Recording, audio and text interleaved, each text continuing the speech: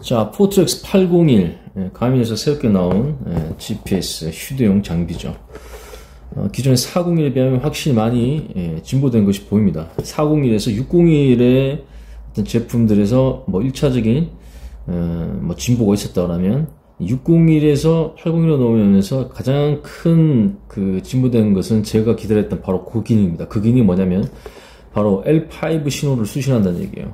그러니까 기본적인 그 GPS 같은 경우는 L1 대역을 수신하는데 얘는 dual band입니다. 그러니까 L1도 수신하고 L5도 수신하고 뭐 L5는 여러분 잘 아시겠지만 어, 기존 어, L1 밴드에 수신되는 신호보다 훨씬 더 어, 정확하고 그다음 도시적 뭐 밀집된 지역이라든가 신호가 약한 지역에서도 상당히 예, 정확하고 빠른 수신을 해주는 그런 장점이 있기 때문에 최근 제품들 같은 경우는 이 dual band L1과 L5 어, 그, 어, 주파수 대역을 수신하는 그런 어떤 그 제품들이 많이 나와 있습니다. 근데 드디어, 드디어 제가 기다렸던 이 포트렉스의 이 dual band가 적용된 제품이 바로 801입니다. 그래서 제가 601로 어, 넘어가지 않고 기다렸던 게 언젠가는 분명히 dual band가 나올 것이다 라고 생각했는데 진짜 나왔습니다. 그게 바로 이 제품입니다. 자, 개봉을 해봅시다. 이게 뭐, 심플하게 만들었네요. 박스 이렇게 있고요.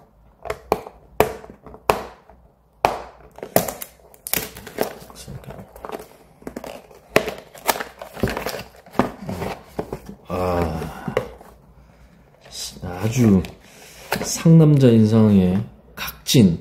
딱 느낌이 뭐냐면 예전에 그 삐삐 아시죠? 삐삐. 그 삐삐랑 거의 크기랑 모양이 비슷하다 이런 느낌이 듭니다.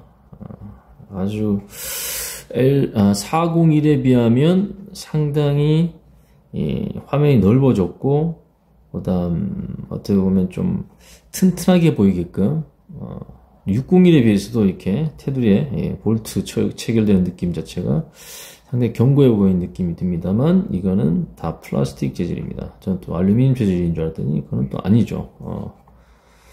보시면 이렇게 생겼습니다. 너무 바딱한 예, 삐삐처럼 생겼고요. 예, 누른 버튼들이 확실히 편하게 예, 돌출되어 있어서 이전 보드 601은 비슷하죠. 근데 401에 비해서는 확실히 버튼 누른 부분이 편해졌다 는 느낌이 듭니다. 어, 이렇게 손목 밴드 연결한 부분이 있고요.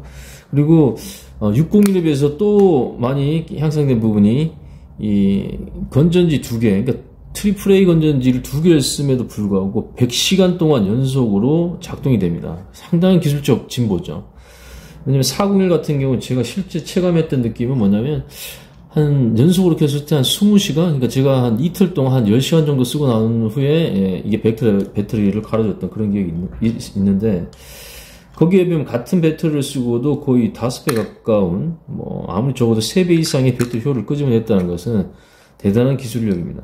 어, 똑같은 어, triple A 건전지 두 개가 들어가는데 401 같은 경우 크기 작기 때문에 여기 딱두 예, 개가 나란히 붙어 있는데 이거 같은 경우에는 어, 약간 공간, 화면이 커지면서 같이 공간이 넓어져서 예, 조금 이격된 상태지만 그거 관계없이 어쨌거나 배터리 효율은 훨씬 더 좋아졌다는 거예요. 잠그는 방법이 확실히 달라졌네. 딱 돌리면 딱 소리와 함께 예, 이렇게 잠그는 방식이네요. 어, 확실히 방수에 대한 부분은 어, 많이 신경 쓴 것 같습니다. IPX7 정도 수준까지 방수 처리가 되기 때문에 거의 뭐 완전 방수에 가깝다. 일반적인 사용이 있어서 어, 밀스펙이 원하는 수준의 능력을 가졌다 이렇게 볼 수 있습니다. 801과 함께 901이 같이 나왔는데 901 또는 이전 버전의 어, 701이었죠. 601과 나오면서 701. 그 다음, 어, 이 801에 또, 어, 그 뷰러 시스템이라고 하는, 어, 901.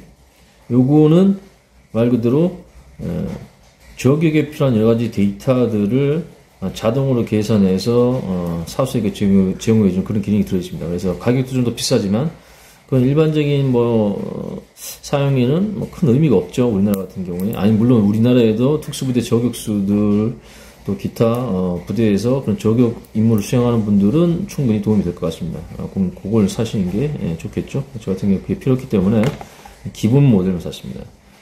이 901 같은 경우는 색깔이 더 예쁩니다. 예, 탄색이 적용됐어요. 아, 똑같이 탄색 좀 적용하고 선택할 수 있게 해주면 좋은데 801은 약간 짙은 회색 901은 예, 탄색의 투톤 컬러입니다. 아, 그게 참 예쁜데 아쉽긴 합니다. 어쨌거나 지금 어, 8구면 이런 외형 가지고 있습니다. 일단 종이 박스가 있고요. 그 다음 아, 손목, 밴드 어, 하나 줍시다.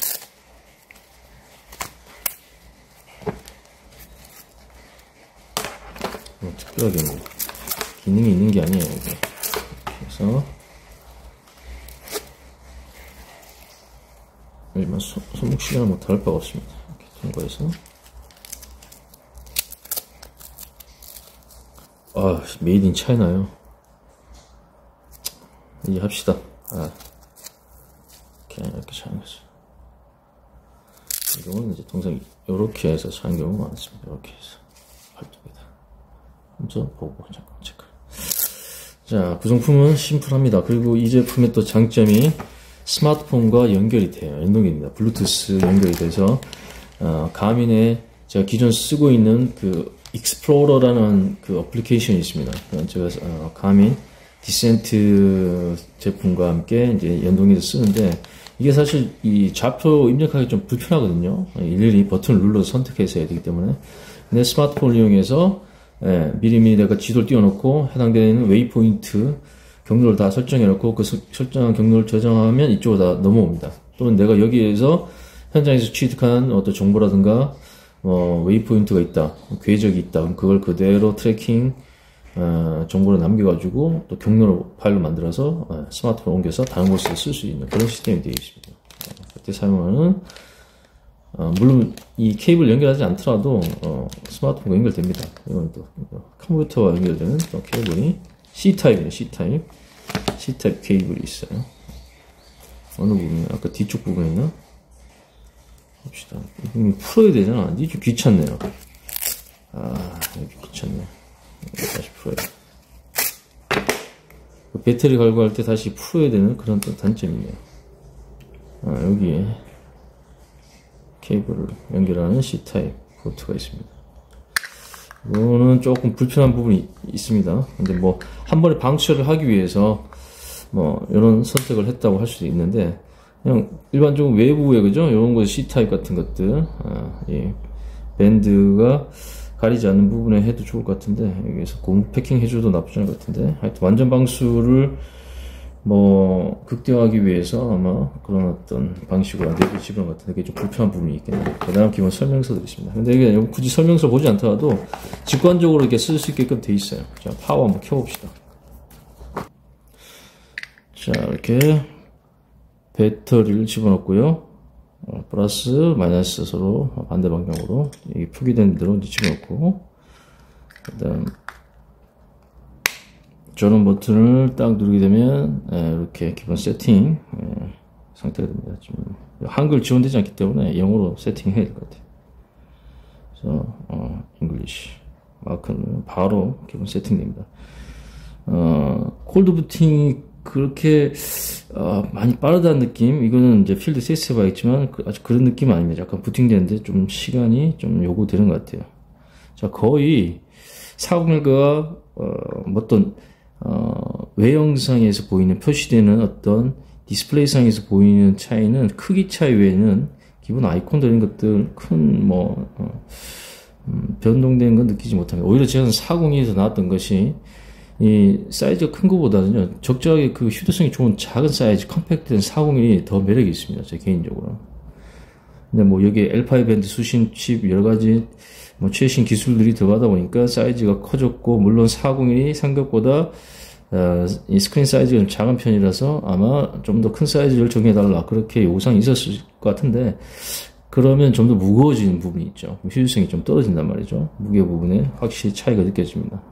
저는 차라리 401 사이즈가 그대로 유지되는 것이 좀 더 나을 뻔했다 생각이 듭니다. 물론 시인성 확실히 어, 시원시원한 부분은 없지 않습니다만 그만큼 사이즈가 많이 커졌기 때문에 효율성 부분은 예, 아쉽다. 자, 이건 제가 이제 필드에서 어, 세팅한 거에서 제가 한번 사용해보고 어, 또 한번 리뷰를 하도록 하겠습니다. 일단 어, 포트렉스 어, 401 이후에 601이 예, 나왔고요. 601에 아쉬웠던, 아쉬웠던 점이 L5 밴드 수신이 안 됐던, 즉, 어, dual 밴드 수신이 안 됐고, 대신 기존 401에서 어, GPS만 수, 신되는 것이 이제 세 가지 예, GNSS 위성 신호를 수신할 수 있었던 걸로 바뀐 게 좀 큰 차이점입니다. 그다음에 스크린도 좀 커졌고요. 그다음 배터리 효율도 좀 더 올라갔고.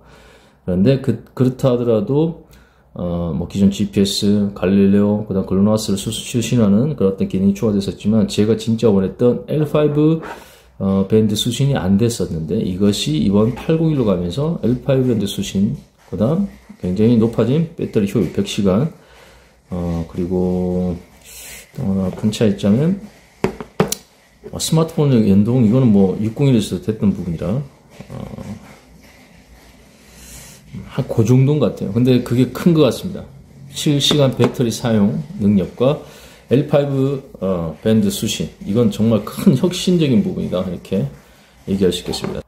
지금 실내에 있는데 지금 L1 밴드가 수신이 됩니다. 수, 집의 수신 상태가 지금 어, 체크가 되고 있어요.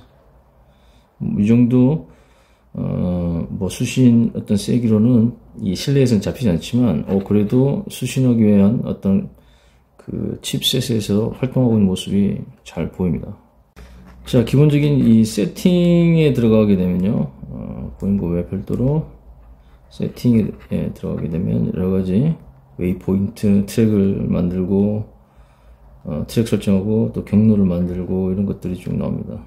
이렇게 setup에 들어갑시다. setup에 들어가면 시간, 타이머, 디스플레이, 밝기, 뭐 단위 설정할 거예요. heading, 뭐 진북으로 할 것이냐, 뭐 이게 그 선택한 것 같은데. 어, 베어링 선택한 거, 도, 진북으로 할 것이냐, 컴파스 자동으로 할 것이냐, 뭐, 이런 것들. expedition 모드는 좀, 그, 절전 모드에 가깝다고 해야 되나요? 예, 인터벌 10분 단위로 할 것이냐, 뭐 이런 것들. 저, 절전 모드를 쓰면 1000시간까지 이, 이 GPS를 사, 아, 그러니까 이 위성신호를 수신하면서 기록을 남기면서 작동이 되는 걸로 이렇게 표현되어 있어요. 어마어마하죠? 들어가면 GPS 모드. GPS만 수신할 것이냐. 여기 굉장히 중요한 부분이죠. 단순 GPS만 쓸 것이냐. multi GNSS. 그러니까 두 군데의 어, 위성을 어, 선택해서 쓸 것이냐. 당연하죠. multi GNSS야죠. 그 다음 어, 여기 나오는 multiband L1 밴드와 L5 밴드를 사용할 수 있는 모드가 바로 시스템 안에 있습니다. 그러니까 만약 이걸 오프로 두게 되면 L1 밴드만 쓰는 거고요. 이걸 멀티밴드로 바꿔줘야만이 예. L5 밴드까지 사용할 수 있죠. 알카라인 자 이렇게 하면 세팅 기본 제일 중요한 세팅이 끝났습니다. 자 아까는 L1 밴드밖에 수신이 안 됐거든요. 지금 보시면 다시 L5 밴드가 수신되는 걸 보입니다. 지금 실내에 있음에도 불구하고 어느 정도 그 인공위성의 이 어떤 신호를 좀, 좀 잡아내고 있습니다. 충분하지 않지만, 충분하지 않지만, 건물 내에서도 그래도 이렇게 약 하나마 신호를 받고 있고, 그 다음, 멀티밴드 선택했을 때 지금 L1 밴드와 함께 L5 밴드가 이렇게 수신되는 게 보입니다. 바로 여기 큰 차이입니다. 가장 큰 진보된 기술적 차이예요. 자, 그럼 실내에서도 제가 나중에 테스트한 것들 다시 한번 보여드리겠습니다.